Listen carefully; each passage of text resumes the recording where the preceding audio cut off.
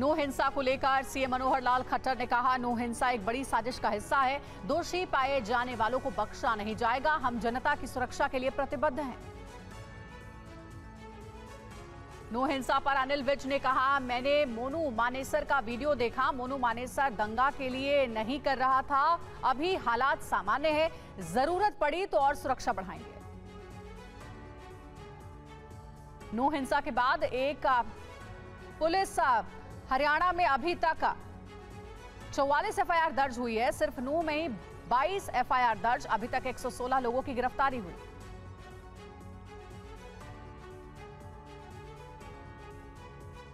No हिंसा मामले पर डिप्टी सीएम दुष्यंत चौटाला ने कहा, दंगा फैलाने वाले किसी भी पार्टी या किसी भी समुदाय से हो, उन्हें बख्शा नहीं जाएगा। दुष्यंत चौटाला ने कहा, आयोजकों ने भीड़ को लेकर सही जानकारी नहीं दी थी। आयोजकों ने सही इनपुट प्रशासन को नहीं दिया था। हरियाणा में नूह के बाद पलवल, गुरुग्राम में भी हिंसा। गुरुग्राम के सेक्टर 70 में आगजनी उपद्रवियों ने कई दुकान में आग लगाई। नूह सोहना में हिंसा के बाद छह जिलों में धारा 144 लागू। हिंसा के विरोध में आज बजरंग दल करेगा देशव्यापी प्रदर्शन। नूह में हुई हिंसा के बाद वहाँ के हिंदुओं में डर का माहौल। लोगों से लोगों ने टीवी नाइन से कहा, रक्षा नहीं कर सकते तो पलायन करेंगे। गुरुग्राम के बादशाहपुर इलाके के कई दुकानों में आगजनी हिंसा के बाद बादशाहपुर में आरएएफ का फ्लैग मार्च। पुलिस ने शांति बनाए रखने की अपील की।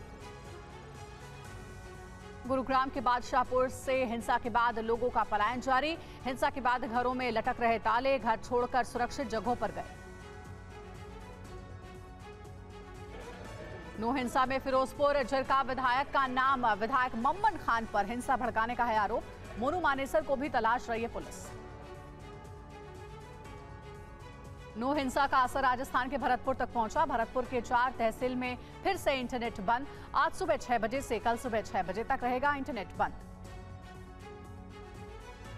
नो हिंसा के चश्मदीद का टीवी नाइन से बातचीत हुई है। यात्रा के दौरान नहीं थे कोई भी पुलिसकर्मी अस्पताल की छतों से हो रही थी पत्थरबाजी।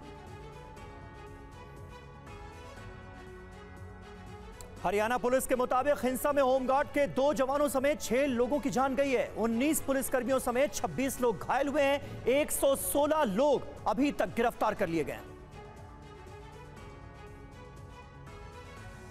प्रधानमंत्री मोदी की अध्यक्षता में सभी वरिष्ठ मंत्रियों के साथ बैठक शुरू। मीटिंग में रक्षा मंत्री राजनाथ सिंह, गृह मंत्री अमित शाह, प्रहलाद जोशी, पीयूष गोयल, अर्जुन राम मेघवाल, निर्मला सीतारमन सभी मौजूद हैं।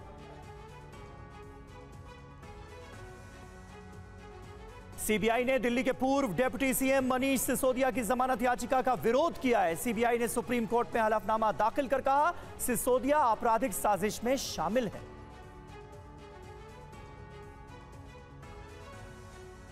बॉलीवुड के मशहूर आर्ट डायरेक्टर नितिन देसाई ने खुदकुशी कर ली है। अपने स्टूडियो में फांसी के फंदे पर लटकते पाए गए आर्ट डायरेक्टर नितिन देसाई।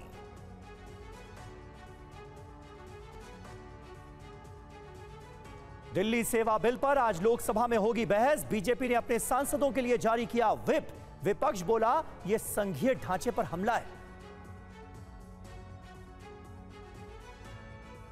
आज कांग्रेस अध्यक्ष मल्लिकार्जुन खड़गे के नेतृत्व में राष्ट्रपति द्रौपदी मुर्मू से मिलेंगे विपक्षी गठबंधन, इंडिया के नेता। मणिपुर के मुद्दे पर मुलाकात होनी है। दो दिनों के मणिपुर दौरे पर गए थे विपक्ष के 21 सांसद। बीजेपी ने शुरू की मिशन 2024 की तैयारी। पीएम मोदी आज फिर करेंगे एनडीए सांसदों के दो ग्रुप्स के साथ चुनावी मंथन।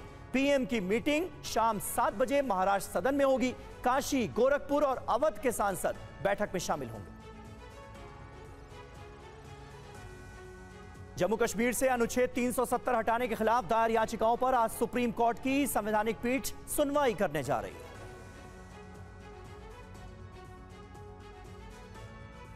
जम्मू कश्मीर में सेना को मिली बड़ी कामयाबी। सुरक्षा बलों में बारामूला से लश्कर तैयबा के दो हाइब्रिड आतंकवादियों को गिरफ़्तार किया है। भारी मात्रा में गोला बारूद भी बरामद किया गया।